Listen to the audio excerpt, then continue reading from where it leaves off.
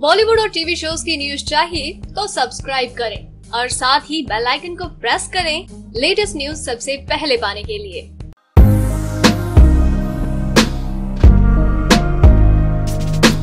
ईद के मौके पर, यानी कि 6 जून को सलमान खान की फ़िल्म भारत रिलीज़ होगी।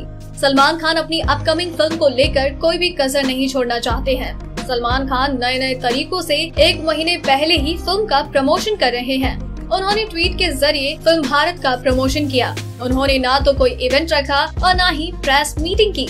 सलमान खान ने कटरीना कैफ और फ़िल्म के डायरेक्टर अली अब्बास ज़फ़र के साथ बैठकर अपने फैंस के जवाब दिए। वो मस्करे अंदाज में नज़र आए। सुनील ग्रोवर को लेकर पहला सवाल था और उन्होंने सवाल का जवाब दिया तो सुनील ग्रोवर की जमकर तारीफ़ की। उन्होंने कहा कि वो एक शानदार कॉमेडियन के साथ साथ एक बेहतरीन एक्टर भी हैं। आज तक मैंने उसकी जैसी प्रतिभा किसी में नहीं देखी। हालाँकि मेरी फ़िल्म में कई और भी एक्टर हैं, जिन्होंने सुनील से अच्छा काम किया है। अगर आपको ये स्टोरी पसंद आई तो इसे लाइक और शेयर करें, साथ ही अपने व्यूज़ हमें कमेंट करके ज़रूर बताएँ।